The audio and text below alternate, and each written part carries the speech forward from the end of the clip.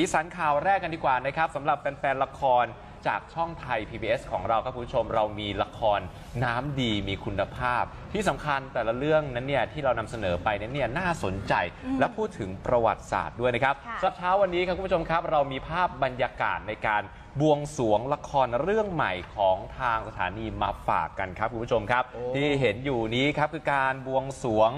ละครจากเรื่องละครเรื่อง เจ้าจากเจ้าพระยาสู่อิระวดีนะครับเป็นละครแนวย้อนยุค ตอนนี้ในวงสรวงกันมาตั้งแต่ตอน9โมงนะครับเป็นเลิกงามยามดีเลยของวันนี้นะครับ เรื่องราวเนี่ยจะเล่ากันนะฮะมีการเลื่อนทางข้ามเวลาจากปัจจุบันครับไปยังช่วงหลังเสียกรุงศรีอยุธยาครั้งที่ 2 ในละครเรื่องนี้ก็จะบอกเล่าประวัติศาสตร์ไทยและเมียนมานะครับที่ไม่เคยถูกพูดถึง รวมไปถึงการถ่ายทอดศิลปะและวัฒนธรรมหลายแขนงที่จะช่วยเพิ่มอรรถรสและความน่าสนใจของละครชุดนี้ โดยมีตัวละครเนี่ย ที่อยู่ในเรื่องนะน้องป้างพี่เป้ค่ะเป็นตัวละครที่มีจริงในประวัติศาสตร์ด้วยนะ อืม เป็นผู้ร้อยเรียงเรื่องราวละครชุดนี้ครับ ค่ะ ครับที่คุณผู้ชมเห็นอยู่ในหน้าจอขณะนี้ นี่คือภาพบรรยากาศสดๆสดเลย ๆที่บริเวณด้านหน้าสถานีโทรทัศน์ไทย PBS ที่กำลังมีพิธีบวงสรวง ละครเรื่องนี้กันอยู่ให้คุณผู้ชมได้ดูภาพบรรยากาศสด เดี๋ยวในระหว่างนี้ผมเล่าให้ฟังนะครับว่าครับนักแสดงมีใครเป็นกันใครบ้าง บ้าง อ๋ สาวๆ ฟังให้ดีๆ นะครับค่ะมีคนที่สาวๆ กรี๊ดแน่นอน หนุ่มๆ เนี่ยต้องฟังให้ดีอ่าเดี๋ยวมีนางเอกน่ารักน่ารักมาฝากกันด้วยค่นักแสดงของเรื่องนี้ครับ คุณก๊อตจิรายุ โอ้โหอ่าโอ้มารับบทเป็นปกรณ์ครับ เป็นหัวหน้าเชฟสุดเฮียบ อยู่ในโรงเรียนสอนทำอาหารในเมียนมา และอีกบทบาทหนึ่งก็คือเป็นอุบากอง เป็นคนที่มีความสามารถในด้านโหราศาสตร์ ต้นตำรับวิชาที่ชื่อว่า ยามอุบากองนั่นเอง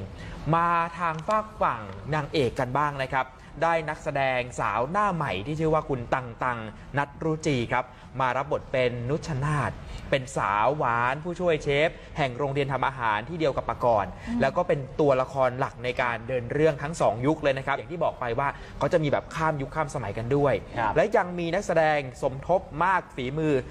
ทั้งจากฝั่งไทยและฝั่งเมียนมาด้วย มาร่วมถ่ายทอดเนื้อหาเรื่องราวของละครให้น่าติดตามกันตลอดทั้งเรื่องเลยนะครับโอ้โหแค่ฟังชื่อนักแสดงก็น่าสนใจมีพักพนันอยู่แล้ในวนี้ไหมนะคะฮะก็นะคะเดี๋ยวไม่บอกอุบ ไปดูให้ดูดีกว่าเออเอออ่าแต่จะบอกว่าละครชุดนี้ค่ะคุณผู้ชม ได้พุ่งกับฝีมือดีนะคะ ที่เคยฝากฝากผลงานไว้ในสารคดีโยเดียที่คิดไม่ถึงนั่นก็คือคุณชาติชายเกตนัทนั่นเองค่ะโอ้ที่จะมาถ่ายทอดเรื่องราวนะคะ ผ่านมุมมองของชาวกรุงศรีอยุธยาที่ไปอยู่ในดินแดนเมียนมานะคะ แล้วก็ยังรวมถึงเรื่องราวของบุคคลในประวัติศาสตร์ที่อาจถูกหลงลืมไป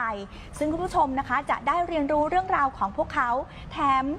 สารเอ่อเขาเรียกว่าละครเรื่องนี้นะคะ ครับ ถ่ายทำที่ไหนทราบไหม ที่ไหนฮะ ถ่ายทำที่เมียนมาตลอดทั้งเรื่องเลยค่ะโอ้ย อืมเออ นี่เดี๋ยวสุดสัปดาห์นี้ผมก็จะไปเมียนมาพอดี ครับ ไปเยี่ยมหลานอ่าเอ๊ะหรือคุณไปแอบเดินถ่าผ่านยกล้องได้ไหม